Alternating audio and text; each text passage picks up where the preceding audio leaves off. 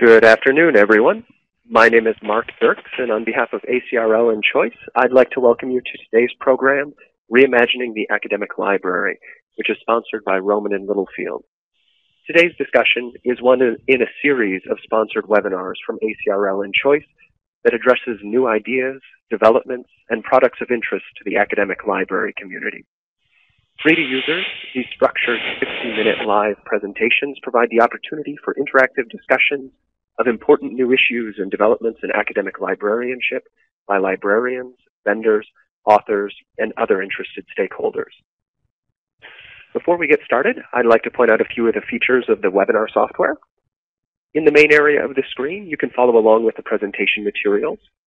Along the left-hand side, you will see a chat panel that you can use to submit questions or comments. We will spend some time responding to your questions at the end of the program, so please feel free to submit them throughout. You will also see a separate box for technical questions. Please feel free to use this feature for any technical difficulties you may be experiencing so our production team can troubleshoot them with you privately. And finally, please note that today's program will be recorded and all registrants will receive follow-up instructions on how to access the archived version. Our speaker today is David W. Lewis, Mr. Lewis began his library career as a reference librarian and now serves as the Dean of the University Library at Indiana University, Purdue University, Indianapolis. In 2009, he accepted the additional responsibility of Indiana University Assistant Vice President of Digital Scholarly. His publications include over 40 articles and book chapters. His article, Inventing the Electronic University, was selected as one of seven landmark articles to be republished in the 75th anniversary issue of College and Research Libraries. His book, Reimagining the Academic Library, will be published by Rowman and Littlefield in 2016.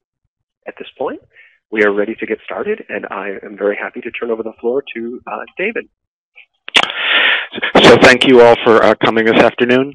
Um, as was mentioned, I have spent uh, the last couple of years trying to write a book, which is a hard thing to do, um, and it will should be available um, sometime next month. Um, so if this is interesting, I would encourage you to uh, further explore what I'm going to say in the book. Um, the premise that I have in the book is that while we live in very chaotic times in a lot of ways, that there is a path forward and um, in my mind, it is a lot like this picture. Um, the road curves and goes over the hills, and we can't quite see all of what we have to do going forward. Um, but there is a path, and I believe that it's pretty straight, well, not straightforward and not simple, um, but it's there, and we can manage it.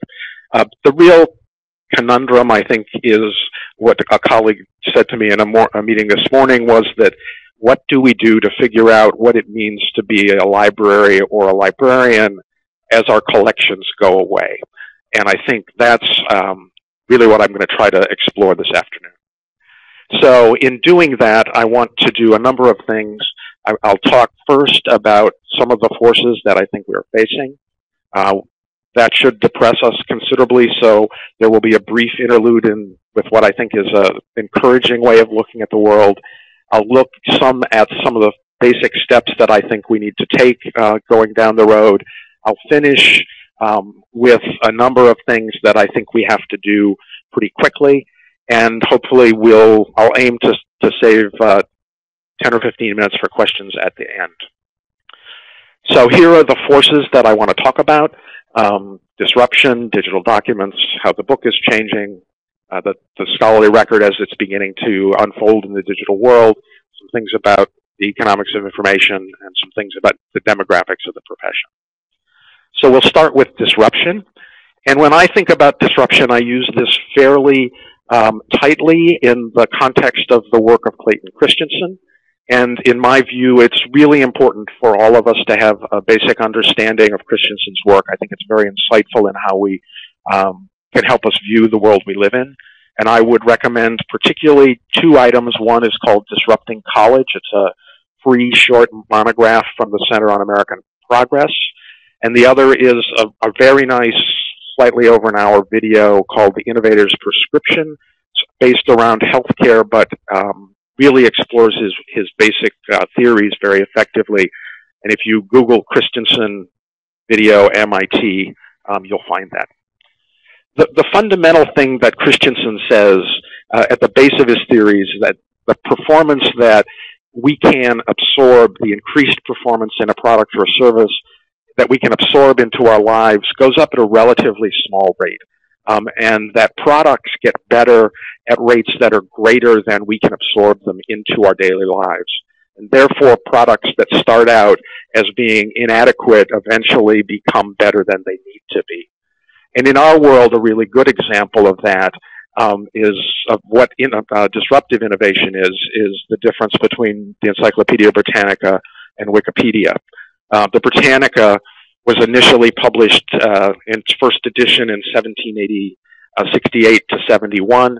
It's a print product. It was, now it's electronic, but its business model has to do with paying people to write and edit things.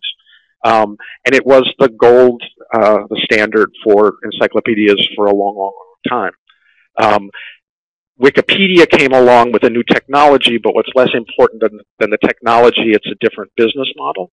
And it started out being not very good, but over time it improved as Christensen would predict. And when it got to be good enough for people's uses, the things that it, different attributes it had made it better than the Britannica. It was free, it changed immediately, um, and it was a better product because it had a different business model, not so much because it had a technology. Many, many things in our world are like Wikipedia. Um, I have argued that gold open access journals are a disruptive innovation. I, I think Google is certainly a disruptive innovation in the way that it tracks uh, how people explore things. Um, so our world is full of these kinds of things, and it's important for us to understand it. If you look at Christensen's theories, I think it, it brings home a number of things to us. The first is what I just said. Our world is full of disruptive innovations, and many of them will disrupt things that we do. And, and we all know that to be true. Um, one of the second thing I would say is that libraries are encumbered, um, as most traditional institutions are, by their legacy infrastructures, practices, and culture. And Christensen spends a long time thinking about why cultures don't change, um, but they don't. It's a very hard thing to do. The third thing Christensen tells us that's important is that his, his observation is that the only way to drive innovation is to create a separate part of your business unit um, make it, put it in a different place so it can develop its own cultures and ways of doing things. And libraries are very small institutions and will have trouble doing that. An important piece he brings, uh, I think, is that when you're doing an innovation, you always start with your least demanding customers. And we don't do that as a rule. We tend to start with faculty who are our most demanding customers. And when you start an innovation, as Christensen would, would predict, it's not good enough. And so you need to learn to improve that product. And if you start with demanding customers, they will immediately say not good enough. So you need to start with undergraduates is, is, is what I would say. You can look at the way institutional repositories were adopted um, initially and, and see that that's uh, borne out. So the second piece I want to talk to in, in terms of uh, the forces we face is uh, the difference between print and digital documents. And we need to recognize that fundamentally all documents at this time are, are digital. Occasionally they get printed out at the end of the time, but digital documents are fundamentally different than printed items in a variety of ways, which make them in some ways very valuable to us, uh, much more powerful, but in many ways complicate our lives in ways that we have yet to figure out. And I've listed here a number of the things that make print and digital difference. So different, a lot of these are really pretty obvious. Um, the, the one that is most important in my mind is the second from the bottom. The marginal cost of producing a digital document is zero. And what that means is not that the cost of producing a digital document is nothing. The first copy cost of a digital document can be quite high. But reproducing a digital document is fundamentally zero, and sending it anywhere in the world is fundamentally zero. So that changes the whole economic structure of everything we do, and I think it changes almost everything about our institutions, or potentially will. So really, this is part of the, the juxt of that. Uh, print documents are local. They exist in one place, and only one person can use them at one time, but digital documents work at, at network scale. Um, and our libraries are fundamentally local institutions. Um, and they're not network institutions. And so this puts us as, as things we're used to doing, scholarship and, and documents become network assets. Um, we have to figure out where we fit in that process. So the, the next piece has to do with books, and this is a, quote from Cory Doctorow that I like a great deal, um, and it, it talks about why books are special. Um, and the part that I like about this particularly is, is if you were to make a movie and you wanted to demonstrate that our world had been reduced to barbarism, you would just show a gang of angry townfolk burning some books. Um, and that, that's an indication of how books are special. Doctorow goes on to talk to compare books and dogs as being things that are special to people. And because we're obviously about books, any change is a difficult thing to do. And of course, we know that almost everything about books um, have changed and are changing pretty quickly. Um, they're obviously gone to be electronic books. Um, I think one of the really interesting developments that we have seen has to do with audio and sort of storytelling. It's almost reverting back to the oral tradition in a lot of ways. Um, from the library's perspective, I would argue that one of the most important things about digital books is that they can be delivered instantaneously. Um, and that fundamentally means that you don't, in many cases, need a collection.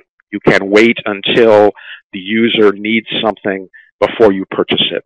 And we've begun to behave a little bit uh, that way when we look at patron-driven uh, acquisition processes. But fundamentally, we haven't adopted our, our way of thinking about our operations and made that change very aggressively in, in almost all cases. One of the other pieces that I'll talk briefly about with, with books has to do with the way in which scholarly books are currently uh, produced. This is from the study that uh, the Ithaka S+R people did that came out last month that looked at the cost of producing, um, in essence, the first copy cost of a digital monograph. Um, and the, the group pieces are different sizes of university presses. Uh, and the largest, well, the smallest cost they found, this, and this is from 2012 data, uh, was $15,000, and the most expensive book to produce was 130,000. We need to to understand that most of these books will not sell more than um, two to 500 copies, uh, and many of those will sit on our shelves and never be used. So it, fundamentally what this says to me is that the way in which books, scholarly books are now produced um, is way too expensive and we have to find another way to do it. Um, interestingly, in my mind, those ways of doing it already exist. Um, I've taken this uh, particular example in, in part because I know the author, um, but also because the scale of the book is not unlike uh, a lot of scholarly materials. This is a, a, a book which illustrates uh, every page of James Joyce's Ulysses with a different um, illustration. It's about 700 pages long. Um, it was produced in Adobe's in um, InDesign um, over the course of about two or three weeks. Um, that's the book layout and production. Um, it was run through a piece of software and made into a, an ebook and is now available on the iStore, iTunes store and will be a print-on-demand item in Amazon um, to be released on Bloomsday. And so the, the cost of producing this book was orders of magnitude less than the, the, the costs that were reported in the Ithaka study. So there are ways to do this. Um, this way doesn't give you the scholarly credentialing, obviously, um, but the production process um, is something that we need to think about very differently than we are today. The next thing I want to talk about is the scholarly record, and these things all sort of float together. This is a chart uh, from a study done by OCLC um, last year um, called the Evolving Scholarly Record. Um, and it talks about the kinds of things that are now part of the scholarly record that we didn't have to deal with in the past. And the outcomes part in the middle you know, represents the things that we're used to, uh, journal articles and books. We know how to do those things even in, in digital formats.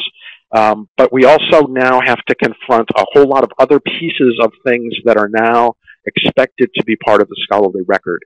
So the top the top part of this chart looks at the things that we need to include. Um, very often the methodology of uh, the research is an important piece of the scholarship, independent of the journal article in many cases. The evidence that, that documents the work, um, either scientific data sets or digital humanities projects that are um, evidence in, in some form, and then prior to the, as part of the process, there is often discussion in developing uh, a work of scholarship, and in many cases, all of those things need to be preserved as part of the scholarly record. And there's also a lot of things that happen afterwards.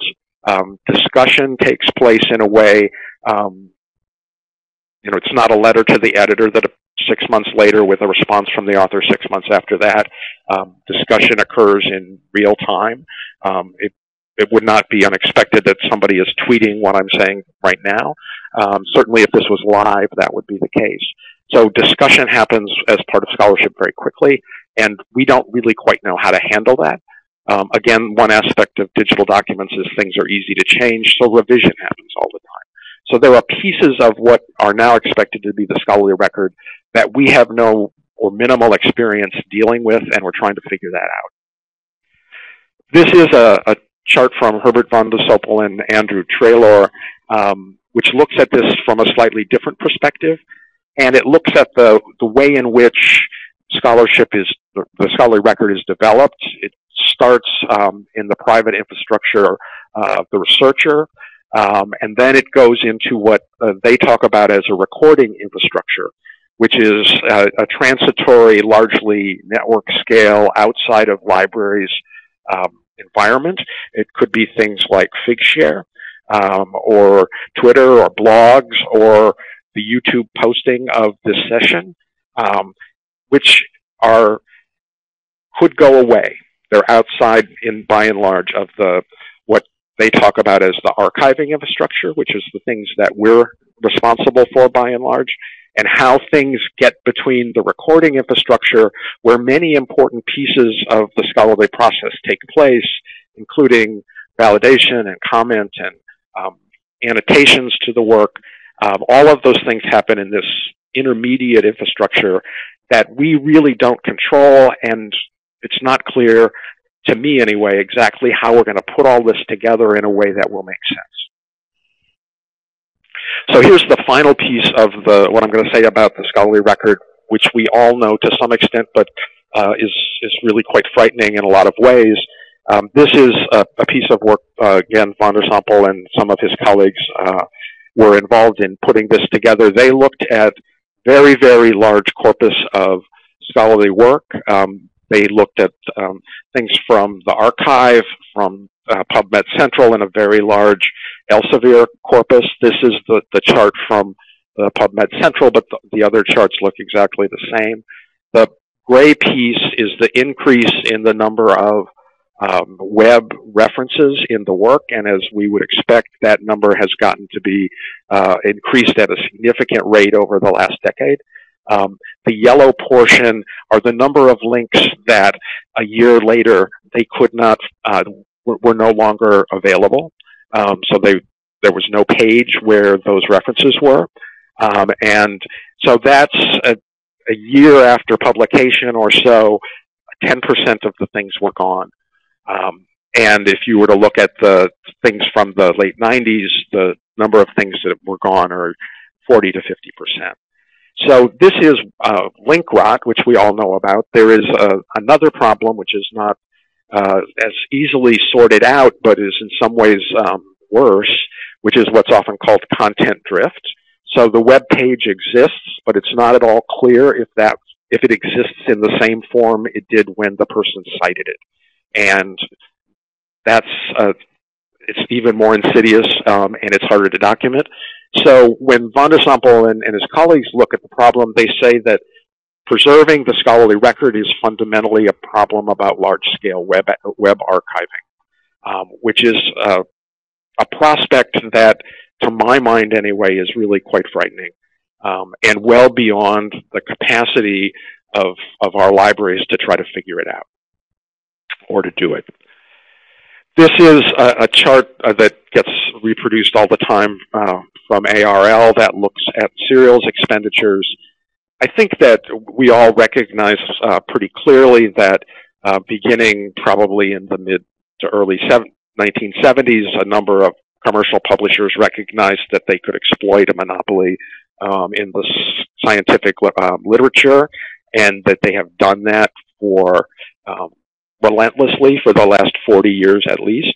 Um, this is not, they should behave this way. They're, uh, as I like to say, Elsevier has a fiduciary responsibility to its shareholders to take all of our money. Um, and they've been quite effective at that. Um, so this is the economic reality that we've been facing uh, for some time, and it's not uh, not clear that it's going to go away. It's not clear to me that we're going to be able um, to out negotiate Elsevier. Although I do think, and we'll say a little bit more later, that there are some reasons to be optimistic.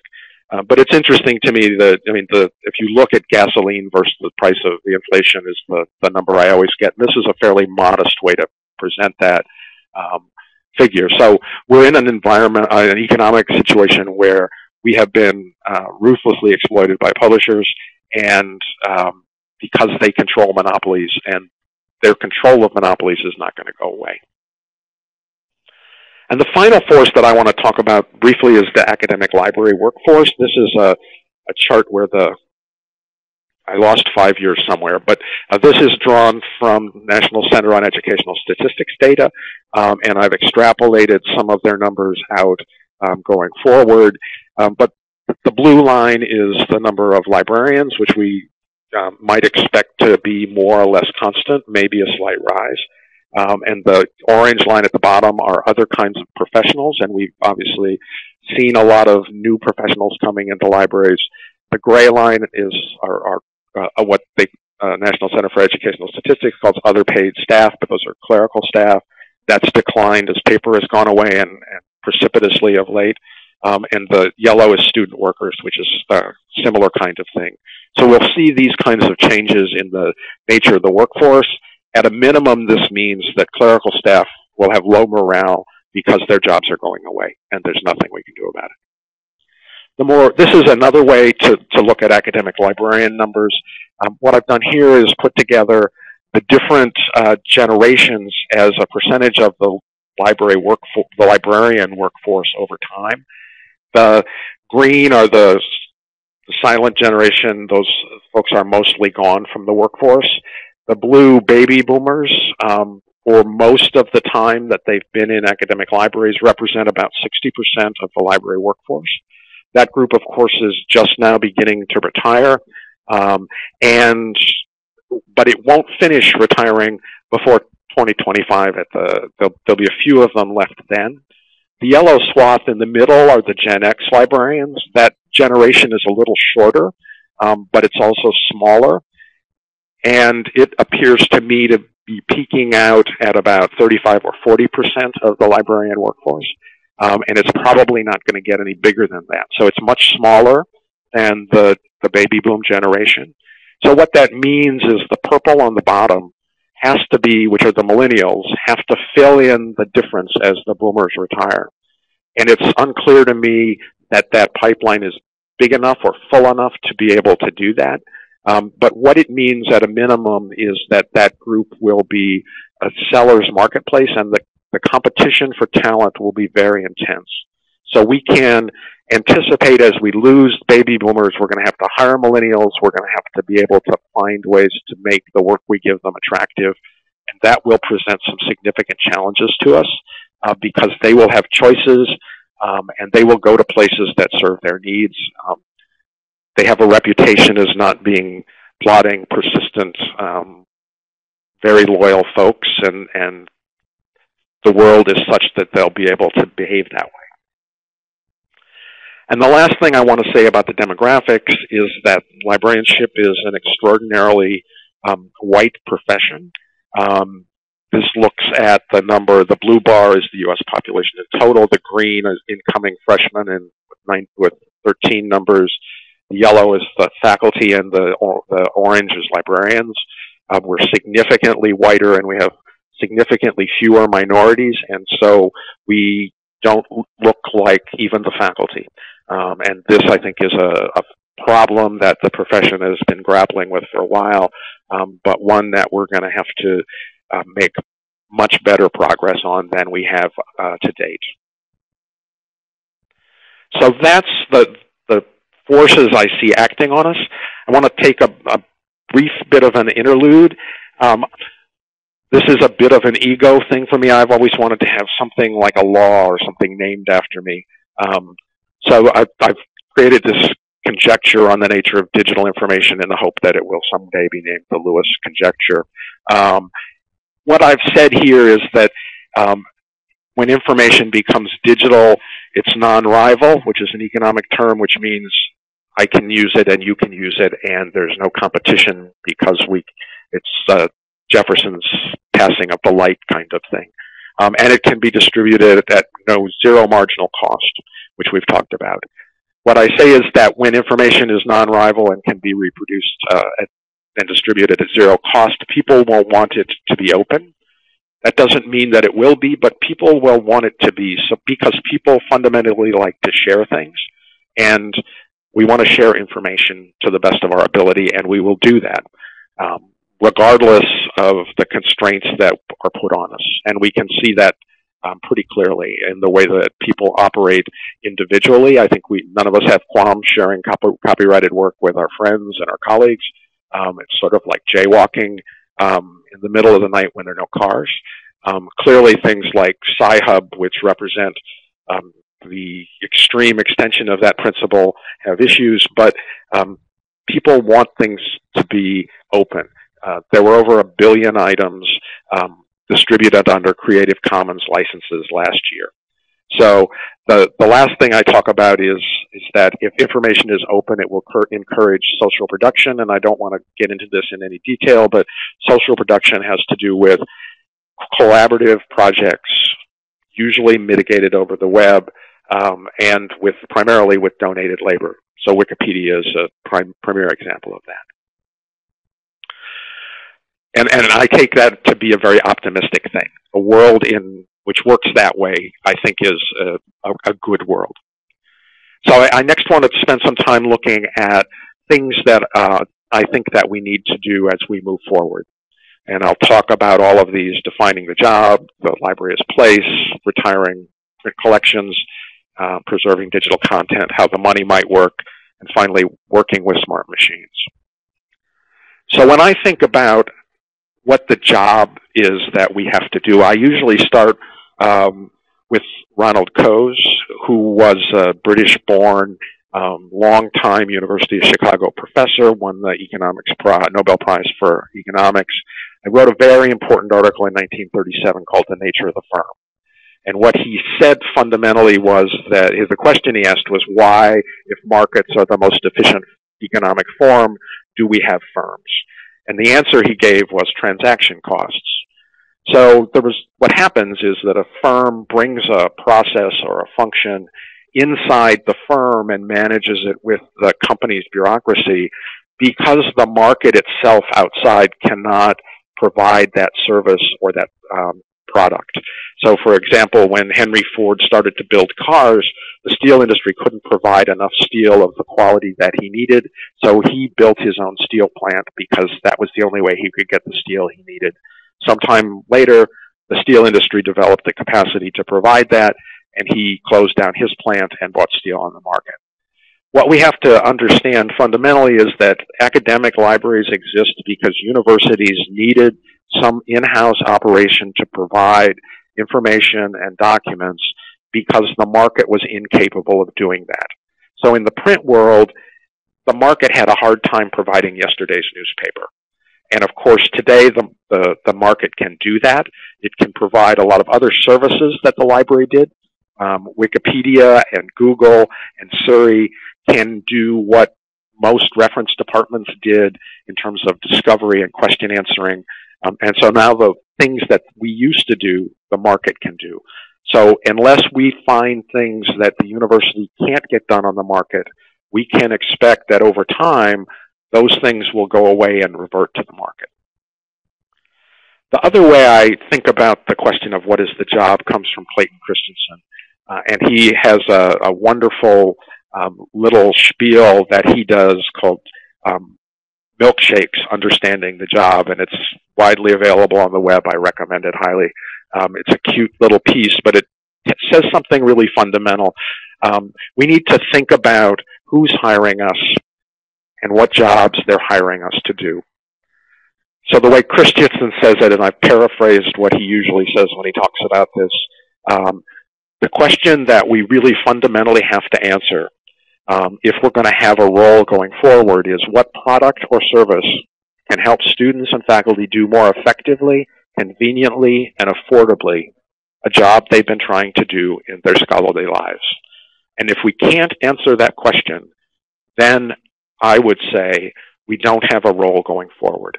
I think there's some very good answers to that, but this is the fundamental first thing we have to do. We have to be able to understand this, we have to be able to articulate it, and we have to demonstrate to people we can actually do it so they'll fund us. So that's the first task. The second one has to do with space. This particular chart comes from a survey that we do in my library called I Heart UL for University Library, and we do it in February around Valentine's Day. It's uh, what we call guerrilla assessment. We we put up a board and we have a lot of post-it notes, and we ask students, and sometimes we bribe them to tell us what they like and don't like about the library. And this is uh, data from the last five years that we've been doing this. Almost nothing changes very much, except students have notably increased their interest and appreciation of being able to study in the library. And so that's an indication to me that space is becoming more important. So most of us have space that looks like this, one way or the other. Um, and most of us want to have space that looks like this. And this, of course, is the, the Hunt Library at North Carolina State, everybody's favorite um, library. It's on all of the tours um, to go out and look at libraries. I actually think that this is um, while the, the building is a gorgeous statement piece of architecture and the technology they have is, is well beyond really cool, um, that this building has some some issues. I would think that we ought to look more at um, the, the idea of the third comfortable place uh, that comes from Ray Oldenburg's work, uh, particularly his book, The Great Good Place, um, which defines something that's a little more shabby and comfortable um, that has more corners and nooks for different types of students to work in different ways and have different um, places that they can claim for themselves. Um, but space is a, a, will be a really important issue. If you look at the library journal numbers on projects for libraries, um, since 2000, um, only about 10% of academic libraries have been significantly renovated or replaced. So that's in the last 15 years. Um, that's not nearly at the pace that we need to change our buildings. Uh, and because A, there's this big black backlog of work, and B, because what it, what we want from library space is very different. A lot of us are going to be involved in building projects going forward um, because there's just this huge demand, demand to do it. So I think this is is not a hard thing to do. I think it's an incredibly interesting piece of work. Um, and a lot of us are going to see it. So the next piece about this has to do with the, what I've often called retiring the legacy print collection. Um, fundamentally, what we need to do collectively as a, a, national initiative is to make sure that print, uh, the print collections are safe. And there are a variety of questions that we need to sort out about who keeps what, um, how many copies we need, where they need to be located, how many are use, how many are preservation copies, how do we manage discovery and delivery, and, and importantly, what's the financial model. I actually think this is one of those things that librarians will it's it's a very big task, but it is the kind of work that we are very good at. And so I am I am very confident uh, when I say to my administration, the print collection will be safe, and we as a lib- the nation's libraries will make sure this happens. We have the capacity, uh, we have the incentive, and, and the, in, the incentives work pretty well. I think the financial model will require a little work, but um, I think it's quite doable. So this piece actually important, um, big chunk of work, but I'm confident it'll happen. And, and it's really important that it does because it provides the basis of other things. And this is a quote from uh, Deanna Marcum from a, an issue brief that she, she released last month um, about library leadership in the digital age, a very nice short little essay.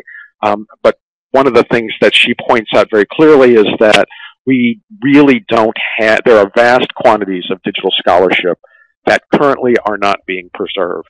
I am absolutely confident that 50 years from now, the people who have jobs and roles like ours are going to look back and wonder why we failed so miserably um, to collect the artifacts of the early digital age um, and why so much that's so important is no longer um, there. Uh, I think we've not, we've only just starting to figure this out, um, and we really haven't put together the processes we need to do to, to preserve digital data. There are some things that are beginning to happen. Um, they're not entirely coherent, it seems to me. There's, uh, if anyone wants to write a, a, piece that will be really important, they'll get a lot of, of good uh, kudos for doing it.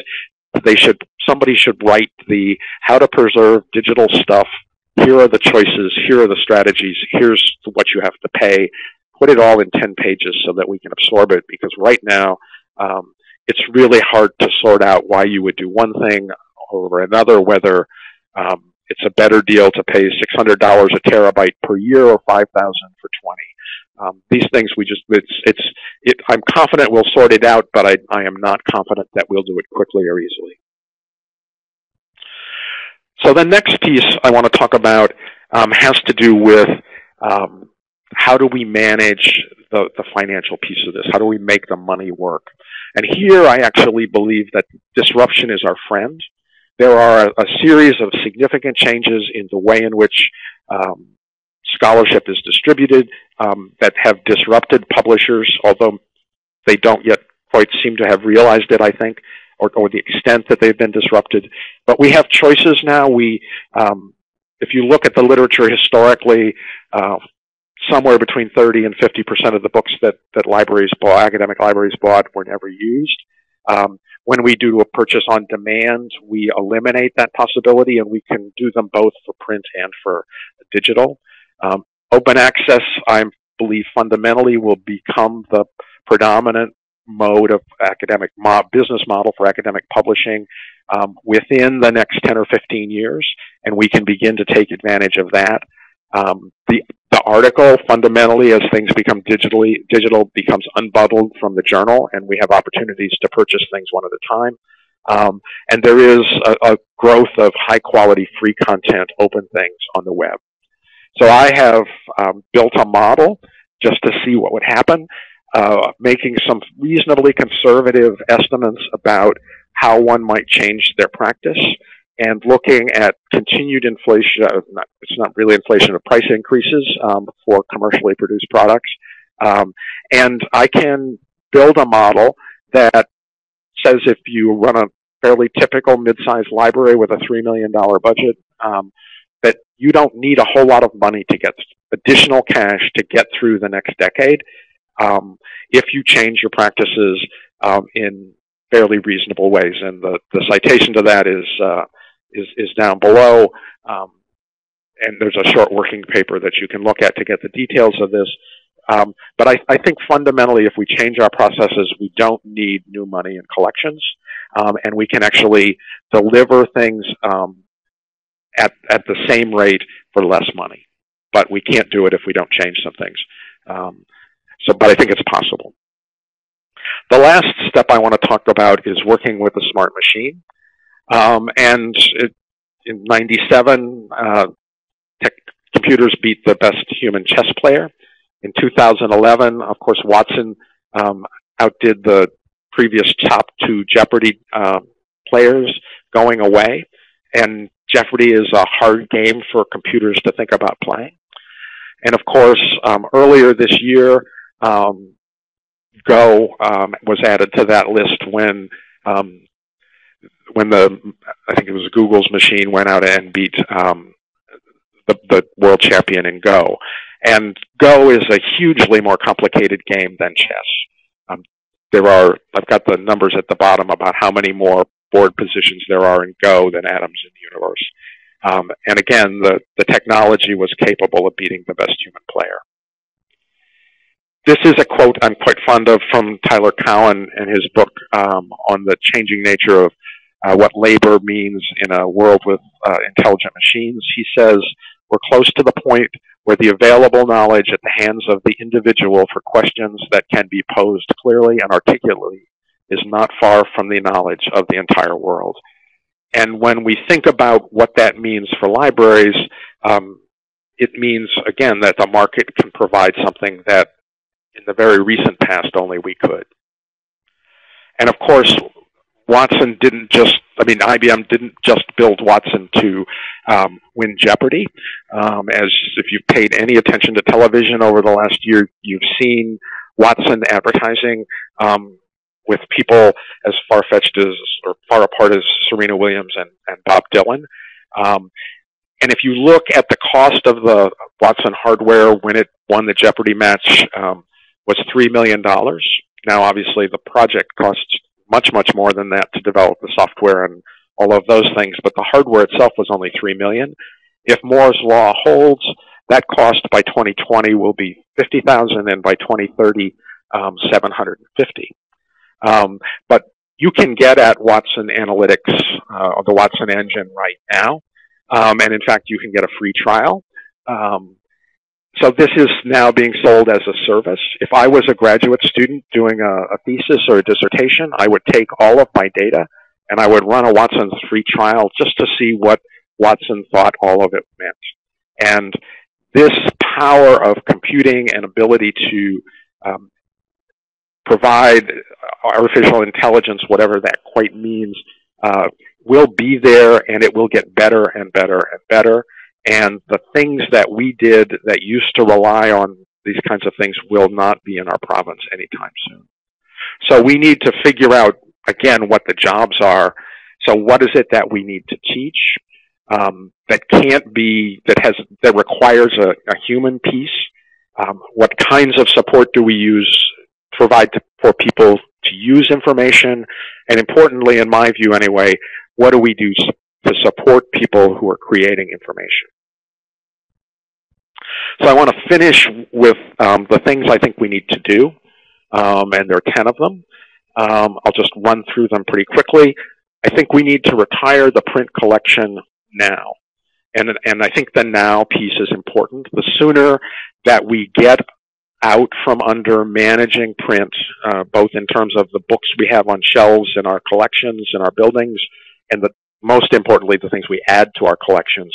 The sooner we get out of the print environment or the less energy we put into it, the sooner we have other, we can reposition uh, those assets, whether they're space or time or money, um, to things that are more important that we need to do. The next two or three really are the crux of what I think is important. We need to move we need to flip the model from being one in which um, the library's role is to bring things from the outside into our institutions um, to one in which we are preserving and making available the assets that are created into in our institutions or are of importance to our institutions. Many of those will be digital, but and some of them will be tangible items. So I think there are three pieces of that um, the first piece is we have to figure out how we're going to manage our materials budget between now and 10 or 15 years from now when open access will be the predominant model. And that transition is going to be a tricky thing to do from a number of perspectives. So I think it's really important that we spend some time and effort um, trying to make that work. The second piece of it is looking at how we support the creation and access to the content on our campuses um, involves scholarly communications issues, repositories, stuff like that. Um, and then I think it's really important that we all commit to the special collections we're going to care about um, and where three and four are digital. That's our contribution to the scholarly commons that's open. The next one, number five, is we need to have a space plan. Um, every provost and president in America is looking at their library as an opportunity to um, use the space because they know the books are going to go away eventually. You better have a plan for it or they will take it away from you in a way that won't serve your purposes or the, the, the jobs you're trying to get done. I think we really need to work at, at infusing the curriculum with the skills that people need to create and consume information productively and ethically.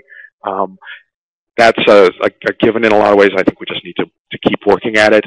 I think from a strategic point of view, as a, a senior leader of, uh, of a, a, library, we have to understand the de demographics of our own institutions, or we're not going to be able to hire and develop the expertise we need.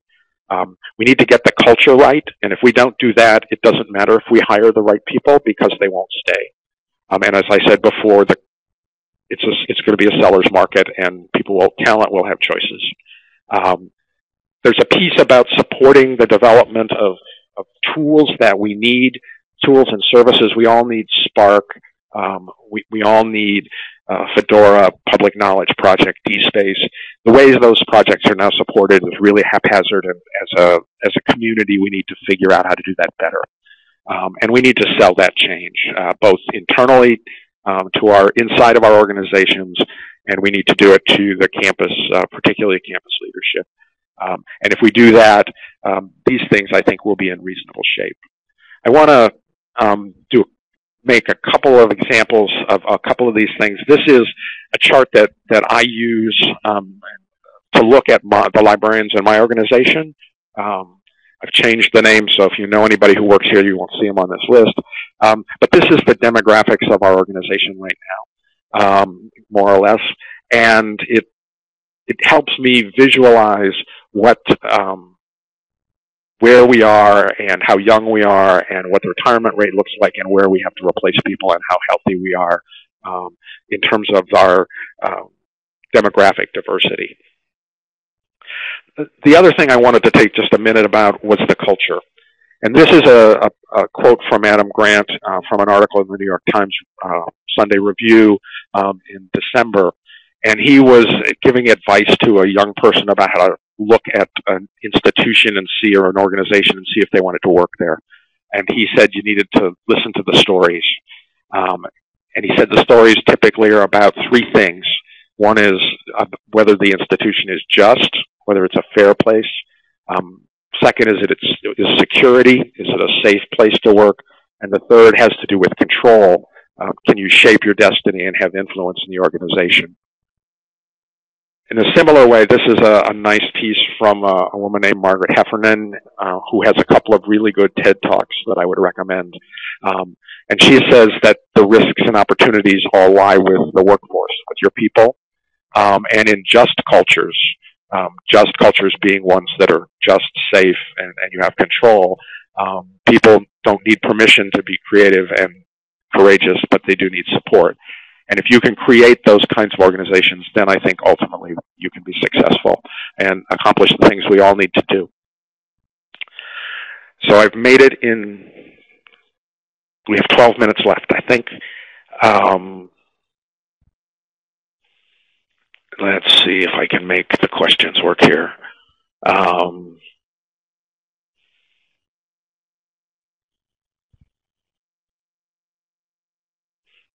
So there's a question about the Christensen's piece about IR um,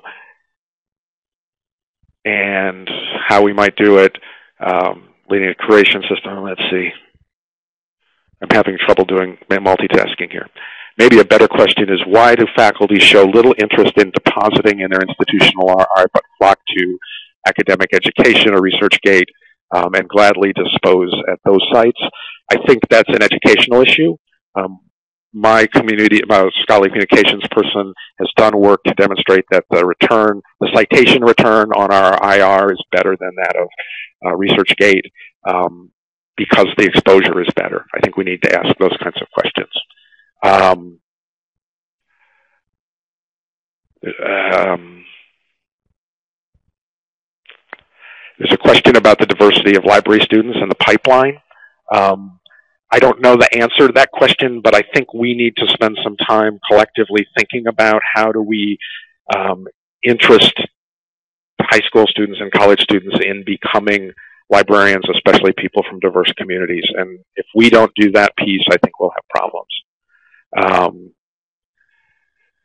there's a question about reimbursing authors, I suspect from the, scholarly, the book piece. Um, those costs are the costs that it, the editorial costs of creating it so that any reimbursement to the author is in addition to um, the costs that were listed there. Um, and one of the interesting things about self-publishing is certainly maybe not in the scholarly world, but if you look at um, novelists, uh, particularly people who write genre fiction, they get much better return from a success if they self-publish. Um, question about um, DRM on ebooks. Um, DRM is is a residual piece of the trying to keep things closed, and I think that it will be problematic until open becomes the model.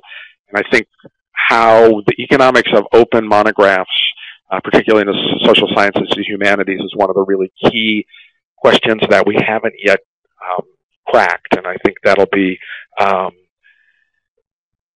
that's that's an important piece of work that, and we need somebody to work on the, the disruptive innovation in that environment. It's really important, but I don't see an easy answer at that point. Um, so how do I respond to people who say libraries are relics of the past? Um, I, I think that if what we think about as li what libraries are as continuing to be what they were in the print world, then I think that that's a, a credible thing to say. Um, it's important that we begin to change what we're doing so that we have a job that matters in the digital environment. I think those jobs have to do with helping the content and the, the, the materials that are produced on our campuses and in essence, becoming a node on the network that supports our universities or our colleges piece of the scholarly commons. And that's the case I would make. Um, it's it's not an easy question to make, but I uh, case to make. But I, I think if you're persistent about it, um, and in fact, if you can demonstrate that the library can do it, or not just you have to be able to demonstrate that the library can do those things, then I think that you if you can do those jobs, uh, those jobs are important, and and we'll we'll have a place going forward. We won't be um, are not artifact. So someone's asked if the retirement of the print collection is the third rail for my university. Um, I, I, will freely admit that I um, almost rarely talk as frankly as I have here uh, about the retirement of the collection. Um, but in many ways, I'm fortunate. My university is a relatively young one, and we don't have um, historic print collections of significance, and we live right down the, the street from Indiana University Bloomington, which does and will keep them. So when when I can make the case that space, we can remove things from the collection and space is generated that can be repurposed, that case is pretty compelling we were part of a statewide um, piece of research that Sustainable Collection Services did that looked at uh, across about 35 institutions in Indiana which books were not used and reliably available um, both in the state in multiple locations and in particular in some of the big research in the big research libraries here, and mostly IUB and and Notre Dame.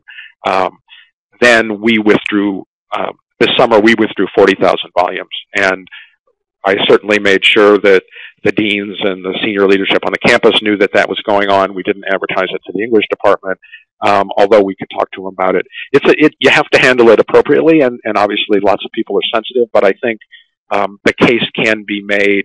And, and fundamentally, if we make a mistake, we can buy it back. So we, we send our books to Better World.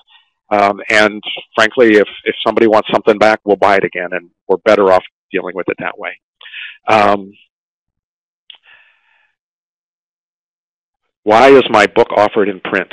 Um, you know, because the editor called me up and asked me to write it for this company, for the for Rowman and Littlefield, and I was really flattered, and I did that. Um, and so it's offered the way it is. It will be available electronically, so you can buy it as an ebook. But um, it's a fair point. If I had it to do over again, I'm I'm not sure I would do it. I would not have written the book without the prodding, um, which is what acquisition editors do really well. Um, if, if, if, but it's a fair, it's an interesting question. I'm, I'm sort of caught in a in a dilemma. Um, let's see. So how do I respond to the uh, research that shows that undergraduates are turning away from ebooks? Um, I think I respond somewhat skeptically. I think that, well, there's two ways to look at this problem. One is if you need the print book, you can buy it, um, and probably should. Um, but I also think that um, increasingly people consume text um, on their devices, and I'm somewhat suspicious of that data, frankly. Um, so someone asked if can the print collection in an, in an academy actually successfully be retired. I think that um, it can't be retired successfully by an individual institution. It has to be retired collectively at a larger scale, either regionally or nationally. Um, but if a consortium of institutions deal with that, um, we're likely it's it's doable. So collectively, we can handle that. Individually, we have to rely on that collective piece, but if but it can be done that way. Um, what percentage of academic libraries uh, will possibly go electronic formats for books and journals? Um, I would expect that we'll be looking at uh, I mean, I think if you look at the dollars spent right now, it's well over 50% for, for uh, journals and uh, is are electronic, and I think it'll get close to 80 or 90% pretty quickly. Um, so there's a question about not um, addressing the teaching aspects of librarianship. Um, and and I, what I'll say about that is I, I think that these are that that's really important. Um, but to me, until we think about the collection, and, and as when I look at one of the jobs to be done, um, that's clearly one of them. Um, but I think until we resolve the collection piece, we really um, we need to do that in order to get the resources we need to do these other things. Um, and one of those things would be teaching more effectively. So I tend not to talk about it, but that doesn't mean I don't believe in it. Um, someone asks about MLS programs um, preparing students for the uh, for the library I envision. Um, I think there are very reasonable concerns in that regard. I think because of the demographics and the need to replace a lot of baby boomers who will be retiring reasonably quickly, I suspect we will increasingly be looking to professionals to fill um, what had formerly been librarian positions because they'll bring the skills we need, but not necessarily the degree. Um, and I think uh, MLS programs have some real issues. They need to look at that pretty carefully. Um, I think it's probably um, it's a big problem. Um, do I think catalog librarians are obsolete? I think that um, if all the catalog librarian knows is is MARC and and traditional book cataloging or print materials cataloging, except in cases, very rare cases, that probably is a somewhat obsolete arrangement, but there's clearly significant work to be done um, in metadata for all kinds of collections, somewhat different kind of work, but the skill sets are very similar. So I think that that, that line of work is, the, the work in terms of description so that things can be um, discovered is important. Um, Thank you, David. I think we're we're running a little low on time right now. Um, so I will just take this time to, to thank you and um, to offer a virtual round of applause for spending some time with us today and sharing um, so many different thoughts and, and really interesting thoughts on the future of the the academic library. Um, we we're really appreciative. I would also add, as a reminder to some of our listeners, that we've recorded today's program, and please be on the lookout for a follow-up email from ACRL and Choice that will include instructions on accessing the archived version of this talk. Thanks again to everyone for attending. Um, I hope you enjoyed the session, and I'd like to wish you all a, a great day.